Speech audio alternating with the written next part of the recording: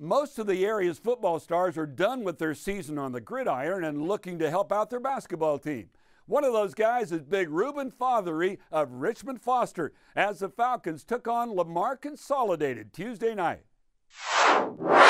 And there's the big Texas A&M recruit ready to help the Falcons basketball team. Early on, Deuce with a pretty post-up spin move for two as Foster takes the early lead. Then the Mustangs' Rayshawn Glover Mayberry with the spin to get out of trouble on the break, and that leads to him getting right to the rim for the layup. However, this game was all Foster. Jacobi Williams drops it off to Chancellor White for the slam. Falcons up by 12 at halftime. In the second half, Philippe Ngemhe pokes it away for the steal. And on the other end, that's Sam Akinrelere with the big time stuff.